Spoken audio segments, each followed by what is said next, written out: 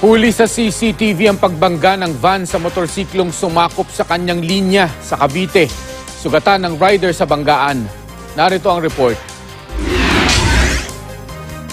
Hating gabi at maluwag ang trapiko sa kalsadang ito sa Dasmariñas, Cavite, makikita sa kuha ng CCTV na magkasunod na tinatahak ng isang motorsiklo at van ang kalsada papalapit sa intersection. Maya-maya, nag-swerve ang rider ng motor at sinakop ang linya ng van. Dito na siya nasalpok ng van at tumilapon sa kalsada. Mabilis na rumisponde ang mga tanod sa lugar at naitakbo sa ospital ang rider. Sapul din sa CCTV sa Pagadian City ang pagbulagta sa kalsada ng biktima ng hit and run. Unang makikita sa video na naglalakad ang lalaki sa Sanson Street. Tatawid na sana siya. Nang bigla siyang bumulagta sa kalsada, nabundol na pala siya ng motorsiklo. Nadala sa ospital ang nasugatang biktima. Inaalam na namang otoridad ang pagkakakilanlan na nakabanggang rider.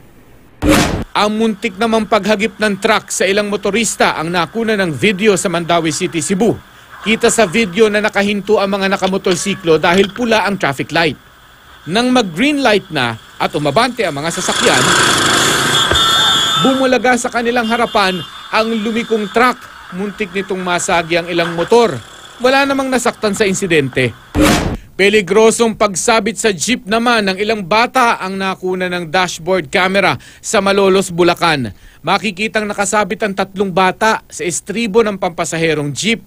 Hindi alintana ng mga bata ang peligro kahit pa medyo matulin ang takbo ng jeep.